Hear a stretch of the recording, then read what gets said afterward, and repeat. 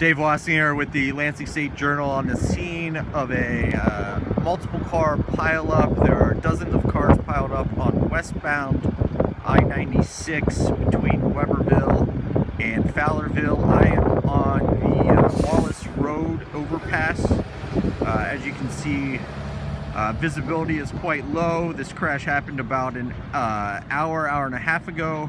Westbound lanes are shut down as emergency crews work on uh, the vehicles involved. Also, the eastbound lanes are shut down as well. Again, this is I-96 between Webberville and Fowlerville. Dave Wasinger for the Lansing State Journal.